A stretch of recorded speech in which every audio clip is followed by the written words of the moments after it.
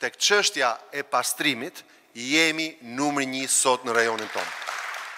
Duke prezantuar planin pesëvjeçar të pastrimit të kryeqytetit, kryebashkiaku i Tiranës, Erion Veliaj tha se landfilli i Sharrës është simboli i ndryshimit dhe pastrimit. Sot e kemi harruar atë renë kancerogjene që nuk shikoje dot qiellin blu në Tiranë.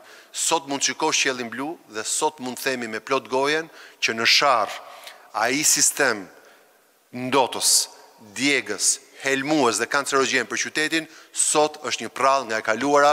Veliaj akuzoi dy aleatët opozitarë, Sali Berisha dhe Ilir Meta, se në katër vite që qeverisën Tiranën, e lanë të mbytur në borxhe. Kush ka bërë gabim, të mbajë përgjegjësi, por Tirana do pastrohet dhe plerat do depozitohen. Ne Ilirit dhe Saliut ia dhamë një shans, nga dy mijë e njëmbëdhjetë deri në dy mijë e pesëmbëdhjetë. Përveç se na lanë faturën gjashtëdhjetë për qind borxhe, na lanë dhe një propozim, që plerat në Sharrë të menaxhoheshin me tridhjetë e shtatë euro toni. Sot plerat Bashkia e Tiranës me një kontratë shërbimi, jo investimi, i mbledh në gjithë territorin e Tiranës, i çon deri tek trau në Sharrë, aty peshohen dhe ne e bëjmë këtë me njëzet e nëntë, jo me tridhjetë e shtatë. Sa i takon fushatës elektorale, Veliaj ka ripërsëritur qëndrimin e Partisë Socialiste se do të bëhet një fushatë pa shumë shpenzime.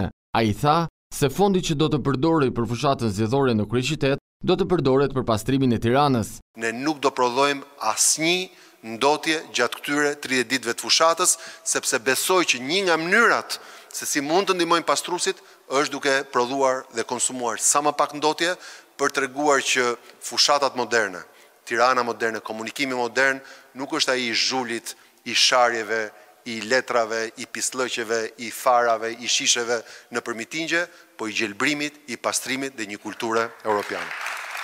Si drejtues politik i Partisë Socialiste për qarkun e Tiranës, Veliaj tha se kjo ishte një nga daljet e fundit si kryetar i bashkisë, pasi do t'i kushtohet fushatës për mandatin e tretë si qytetar i parë i kryeqytetit.